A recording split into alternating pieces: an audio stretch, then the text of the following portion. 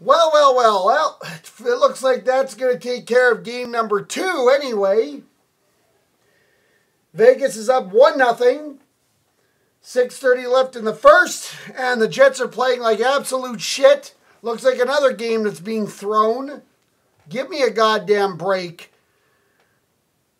Look how they played in game one. This is not even, this is like the opposite of, the, of game one.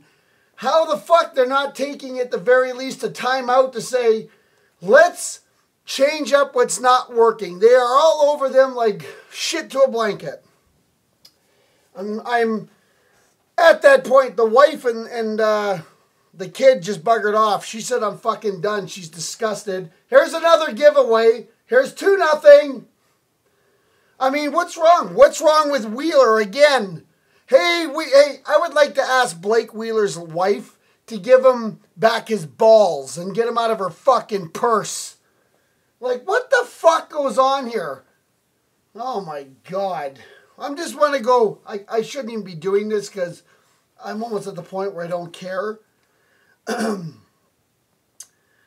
uh, you look at the first period and the first minute, and that the puck that was in the crease for uh, Scheifele was sitting right there. That should have summed it up. The first two minutes, Tanev takes a penalty.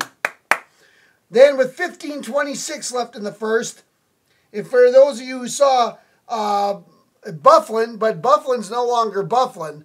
Byfuglien is back to Bulin playing his Bulin game, his bullshit game.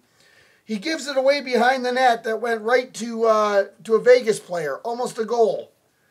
And then 15-14 left. Trouba gives it away, and Vegas hit the post. Opportunity on both sides. The Jets went one that went to the crease. Nobody there. I mean, I don't understand what the fuck they're doing. Like nobody's home. No one's awake here. But it's one nothing Vegas.